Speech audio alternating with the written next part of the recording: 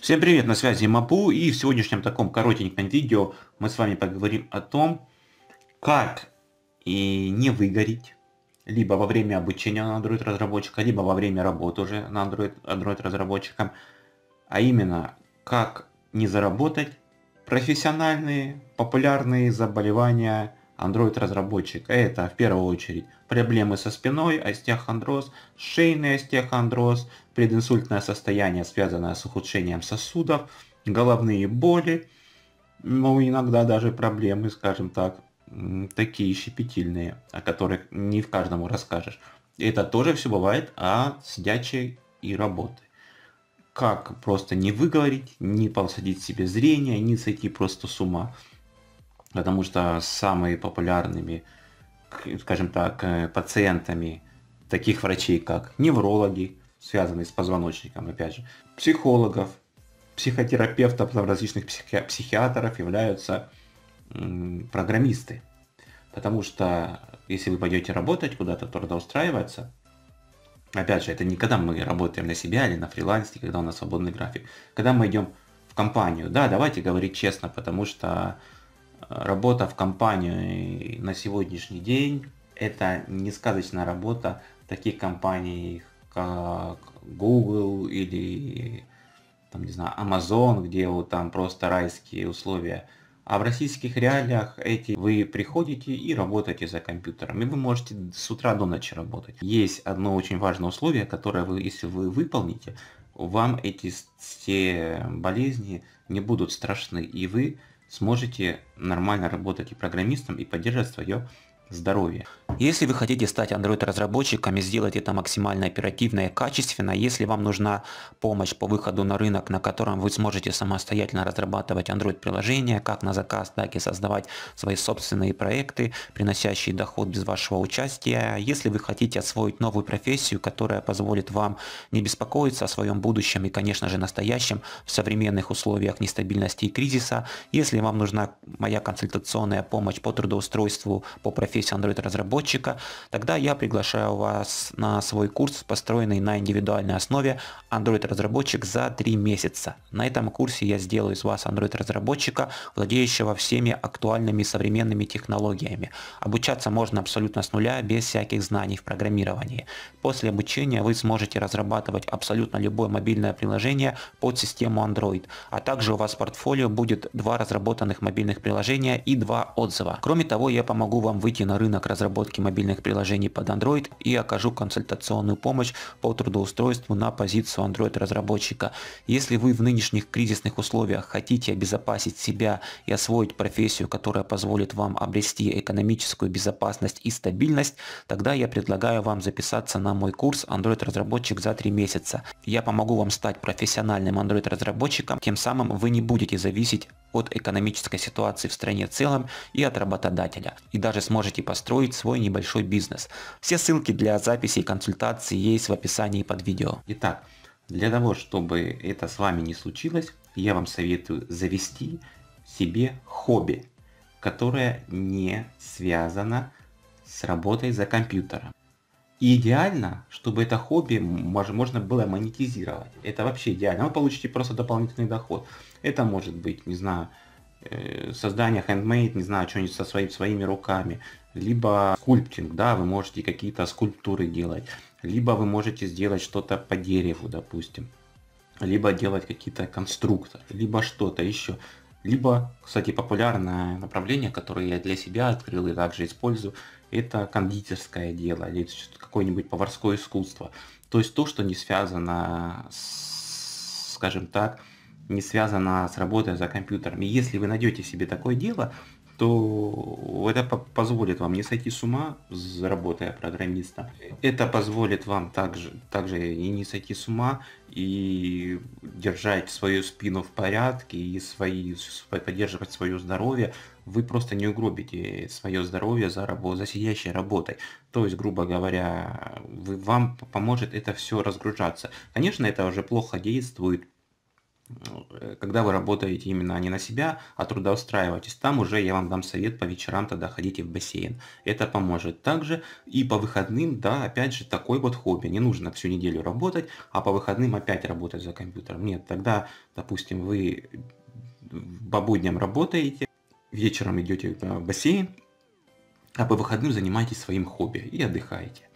Кроме того, очень, очень важно, кроме того, что вы найдете себе такое хобби, очень важно, чтобы вы не работали много времени за компьютером. Два часа поработали, опять же, если вы работаете в компании, пойдите куда-нибудь, отойдите, сделайте, не знаю, приседания или что-то как-то физически нагрузить, нагрузить вам нужно будет себя. Если вы работаете на себя или на фрилансе, что я очень сильно приветствую, то тогда два часа работаете, пошли потом прошлись, там, не знаю, километра три хотя бы пять, пришли, вернулись опять, два часа поработали, опять отдыхаете. Два часа работаете, опять отдыхаете. Опять же, если вы работаете на себя или работаете на фрилансе, то я вам советую работать с 8 утра. Почему с 8 утра? Ну, потому что это идеальное время, ваши мозги идеально работают с 6 утра до, ну, по-хорошему, до 2 часов дня вообще идеально работают. Я думаю, вы каждый из вас замечал, когда даже работая на работе, после победы у вас тянет сон и ничего не хочется делать. Это потому что мозги хорошо работают с утра раннего до обеда.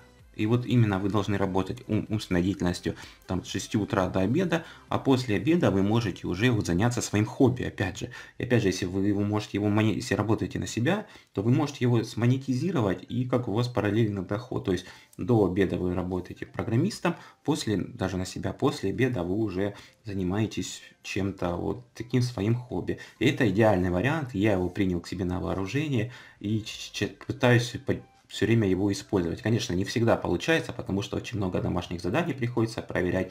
Но опять же, домашние задания моих учеников с курса, это тоже своего образа, скажем так, умственная деятельность, потому что ну, нужно, нужно разобраться в чужом коде. И, как правило, я эти домашние задания всегда проверяю с утра. Я встаю и прям с утра их проверяю. И потом начинаю программировать. У меня множество различных проектов и по а, мобильной разработке, и по веб-разработке.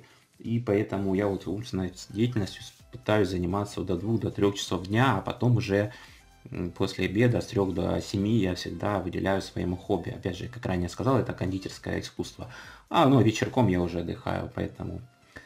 Почему я говорю об этом? Потому что я столкнулся с этой проблемой. Два, ну, уже, наверное, три года назад – и это как раз таки случилось после того, как я в течение года без перерыва с утра до ночи сидел за компьютером, изучая, и, ну, развиваясь в Android разработке, программируя. И в один момент я встал, хлоп, и почувствовал себя очень сильное головокружение. И у меня действительно было прединсультное состояние. И для того, чтобы избавиться от этого состояния, привести все в норму, я потратил в районе ну, наверное, 400 тысяч рублей я на это потратил, чтобы уйти из этого состояния. Мне на это потребовалось два с половиной года. И сейчас я более или менее, у меня все нормализовалось. И там были у меня смесь и остеохондроз спины, и смесь, смесь, смесь вся это с шейным отделом, и смесь с плохими сосудами, и головокружение, и головные боли, вплоть до того, что не мог до магазина дойти. Поэтому не, не увлекайтесь долго программировать, два часа отдыхаем. И вообще, вообще советую день программировать не больше 6 часов. Вообще, по-моему, принято, что 4 часа это эффективное программирование, а потом это все неэффективно. Потому что вот 4 часа вообще идеально попрограммировать, поработать, а потом уже эффективность падает. Поэтому всегда держите перерывы и всегда найдите себе хобби. То есть по факту давайте подведем итог этому видео. Что нужно сделать, давайте так говорить, чтобы не сойти с ума на работе программистов или заниматься программированием. Завести себе хобби, не связанное с, с компьютером, и вообще, чтобы не сидели за компьютером. Работать, делать себе интервалы, два часа поработали, пошли, физически нагрузили, прошлись. Если не можете пройтись куда-нибудь, не знаю, выйдите в туалет и поприседайте. Если работаете именно на компанию, не можете делать все свободные графики, не можете работать удаленно, то тогда работаете в течение дня на работе у себя, да, вечером идете в бассейн. По выходным посвящайте себе семье и своему хобби. То есть не сидите за компьютером. И вечером отдых, побольше отдыхайте. Это советы, которые я бы хотел услышать, когда я начинал программировать. Потому что есть статистика, и вообще посещал один раз невролога очень хорошего, и она мне сказала, ты, наверное, программист. Я говорю, а почему? Ну, как вы узнали? Она говорит, да дело в том, что 70% моих клиентов, которые приходят, ну, пациентов, вернее, которые приходят ко мне с жалобами на головокружение, на все вот это на спине, они все программисты. Так что задумайтесь, и вообще я вам очень сильно рекомендую стараться к такому подходу.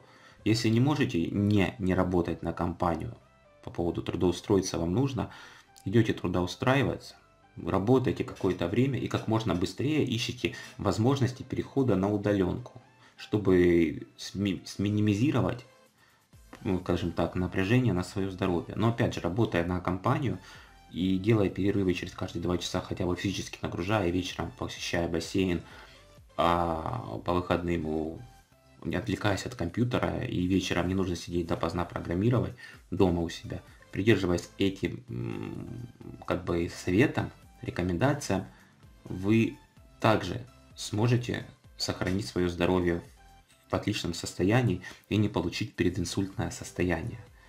То есть даже работая на компанию, вы можете это избежать. Если будете сидеть целыми днями и ночами перед компьютером и не будете использовать эти рекомендации, то очень высок риск того, что вы получите очень нехорошую болезнь. Ну а на сегодня у меня все. С вами был проект Мабу. Берегите свое здоровье. Всем пока.